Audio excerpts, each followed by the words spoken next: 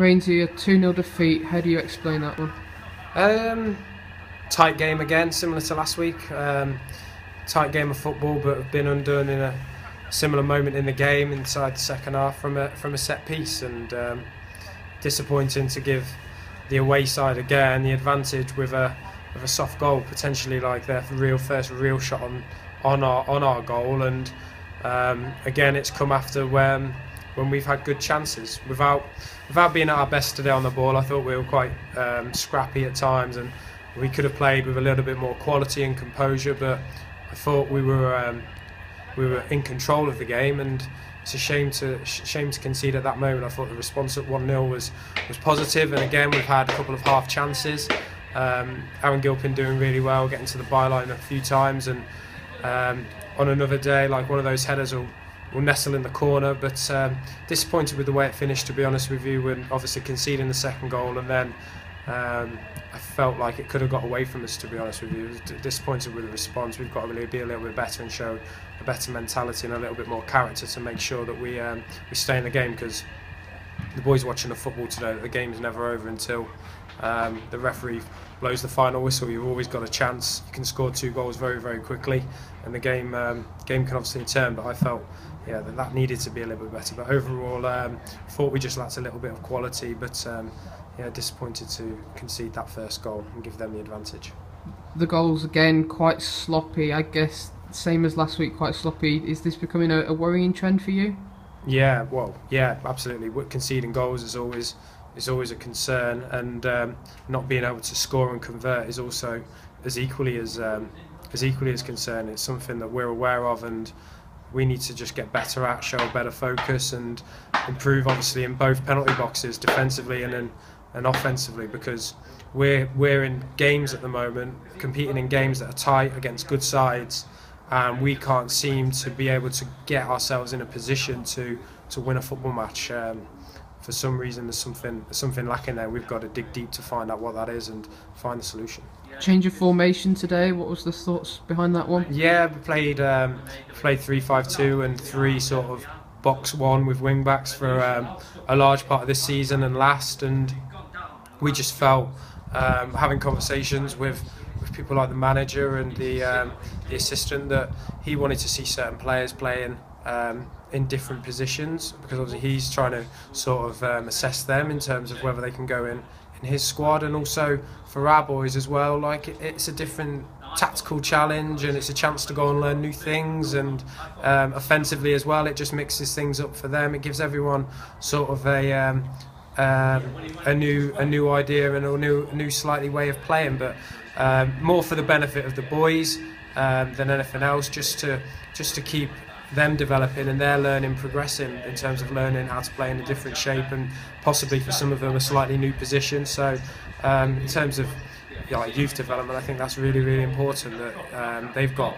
the boys can go into whether they go into our managers. Um, team next year or another managers they're able to sort of be flexible and say they've got experience of playing in whatever shape that manager wants to play I think that's I think that's important so um, I thought the shape today, like I thought we did well. We just um, we kept a good shape defensively. I thought from an attacking perspective, we needed to get more support around Charlie at times and just play a little bit higher up the pitch. But um, it's early days and we've something to work on going forwards, I guess.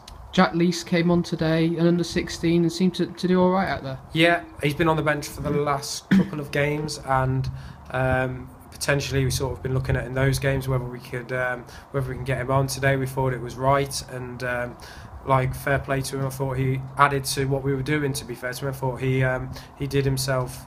Um, he did himself proud in his performance. I thought he was very good on the ball defensively, snuffed things out, putting some good tackles, intercepted, and um, he had a good effort from 25 yards. Like I said, I thought he added to to what we did, and that will do his sort of um, self belief and confidence um, no end of good. It will give him the the. Uh, it will put in his head that he can play at this level as an under 16 and he can um, yeah he can handle himself. So obviously Jackson under 16 sort of um, we're trying to sort of assess for um, scholarship next year and he's done he's done himself extremely well there. He can be really pleased with that 40 minutes that he's done. And looking ahead to Tuesday night the big game in the FA Youth Cup. Yeah. Um, how are you how are you seeing that one?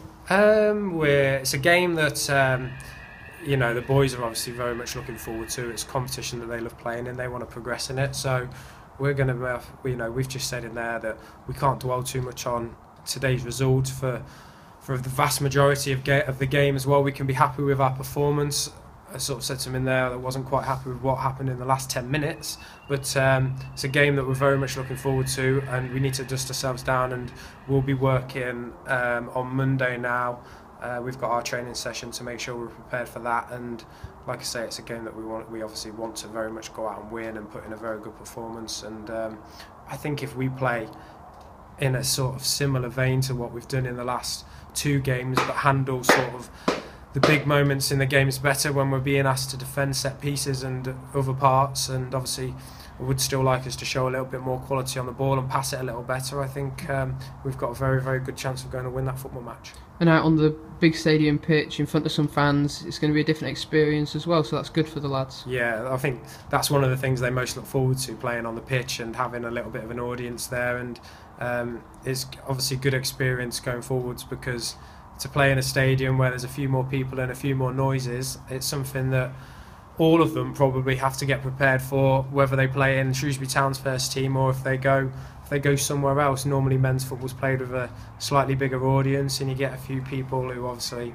encourage you, but sometimes it can go the other way. It's all part of their development that they've got to learn sort of how to handle sort of expectations from the crowd and um, like a few more no- noises, positive or negative. So great experience for them. Something that we um, always touch on when we play those matches. That it's part of the um, part of the event that they've got to handle. But for me, like I'm really looking forward to it and being a part of it, and it's one the boys look forward to, to as well. They shouldn't look at it and be worried about the occasion. It should be one that they want to thrive in and one they want to be a part of because it's one of the one of the um, joys of being a footballer to play in a big event. So yeah, hopefully we're all geared towards it and looking forward to it. And just one quick final one: Jake Kerrin's got a nasty knock today. Yeah. How, how's he?